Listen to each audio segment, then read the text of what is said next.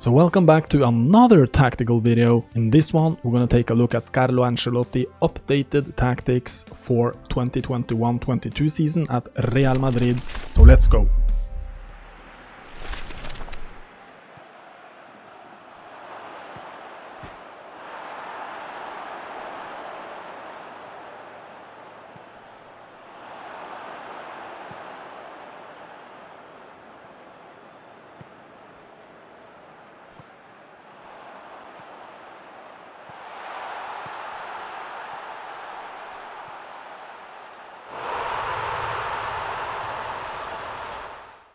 So Real Madrid in PES 2021 is a five-star team and they have 87 rated forwards, 85 rated midfield and then 85 rated defense. So Real Madrid famous for doing a 4-3-3 and the squad is built to play a 4-3-3 and Ancelotti is uh, playing the same formation as uh, Zinedine Zidane was using.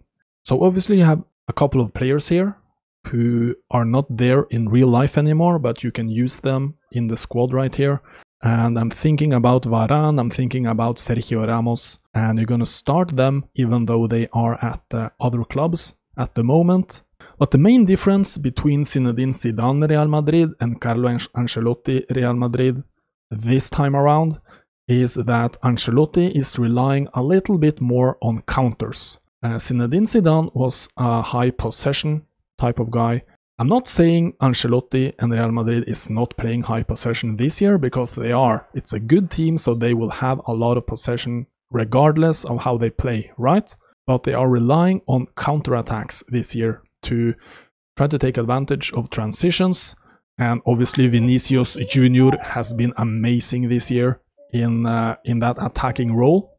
So defensively, they're gonna play a little bit uh, lower, more conservative than they did under Zidane. Zidane had a high press. Under Ancelotti, they are playing uh, a mid block, so they start the press at their midfield. Let's take a look at the instructions right here. We're gonna do counter short pass wide with flexible positioning and a 3 support range. Then for the defense, we're gonna do all out defense, center containment, aggressive press, uh, 2 defensive line and 8 compactness. So Ancelotti wants to have a compact defense to be able to intercept the ball. And then after intercepting the ball, they will launch the counters. So for the advanced instructions, we're doing attacking fullbacks and we're also swarming the box.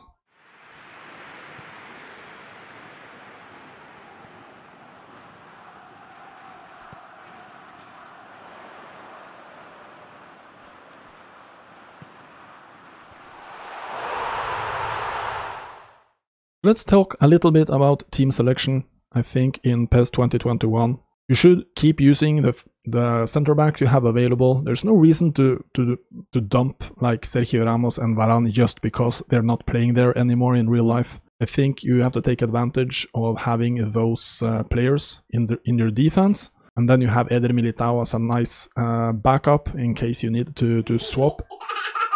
And uh, in goal, you're gonna have Courtois, of course, solid uh, backstopper right there. And then at right back, Carvajal, and at left back, I, I like to rotate Mendy and Marcelo. In the midfield, you're obviously going to have Casemiro as the anchor. He's going to play uh, right there. He's going to shore everything uh, up in the defense right there and provide some support for the defense.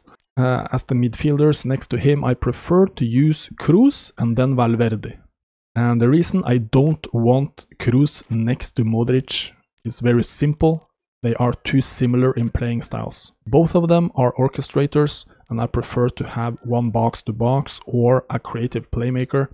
So if Valverde can't start, I actually prefer to use Isco. And this will basically change the dynamic of the team a lot because if you have Modric and Kroos, you lose a little bit of your uh, attacking edge when you go on these counters. I, I feel like Valverde is a more dynamic player back and forth both ways.